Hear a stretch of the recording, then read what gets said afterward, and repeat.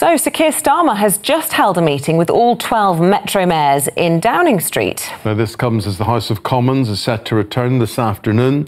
GB News' correspondent Olivia Utley joins us now. Olivia.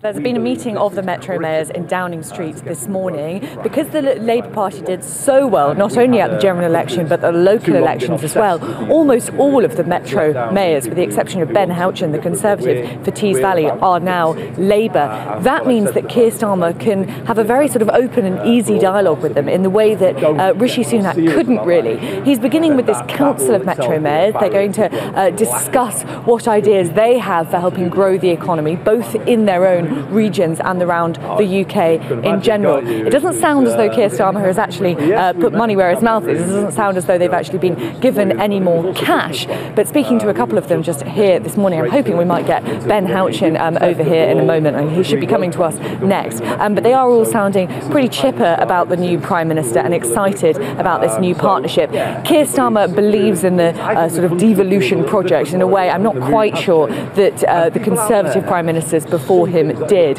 So this should be a sort of very open dialogue. Whether that will actually help uh, those regions around the country without any extra cash is another question. Uh, we had Olivia Utley a little bit earlier on. She was um, joining us from Downing Street. Well, she had Ben Houchen with her, um, one of the mayors, in fact, the only Conservative Metro mayor to remain in post, and we can speak to him this morning. Uh, welcome to the programme. Good morning, Ben. Uh, you've been in and spoken to the Prime Minister this morning? Ah, Olivia's oh, talking. Olivia's going to talk to him. Great. Oh, oh hello. Yes, I'm going to talk to Ben Houchen, who I've got here. You've been in Number 10 this morning speaking to the Prime Minister. Can you tell us a little bit about what, what the meeting was like, what, what was said? Yeah, it was interesting. I mean, Keir Starmer was kind enough to give me some of his time before the meeting of mayors, having not met him before, and he was very keen to reiterate that he was wanting to work with me. You know, the messages we heard during the campaign, right? He wants to put the country first, party politics second, and to be fair, I reiterated the same thing. If he wants to work with me to be able to get things done for our area, to deliver those growth plans that he sorely needs, uh, if he wants to deliver on his promises to the great British public, then he's going to need people like myself and the other mayors to make that happen. And I think he realised that. He wanted to talk a lot about planning reform, how mayors could be able to help with that, have a growth plans to understand how we could unlock growth to be able to deliver on his plans. He recognises that that can't necessarily all be done from the centre, and that we're going to be key to those plans. There's a lot of talk about sort of open dialogue with the Metro mayors, etc. Is Starmer actually going to put money where his mouth is? Was there a promise of more money for the Tees Valley this morning, or for any of the other uh, Metro regions? Well, I think uh, not to get too technical and boring, but there were definitely signs that there were changes to devolution that he wanted to make to give us more autonomy, to be able to get on and deliver, not to go back to government every day asking for a handout. There was talk of multi-year financial settlements. You know that has to be worked through in the run-up to what will, I assume, be a fiscal event in the autumn. Uh, but it was very positive, actually. I was really pleasantly surprised that he was really energetic, really keen. He wanted to work with us, and he was very open to the idea of much more devolution, which has changed with different prime ministers over the last 10 or 15 years, depending on which one it is.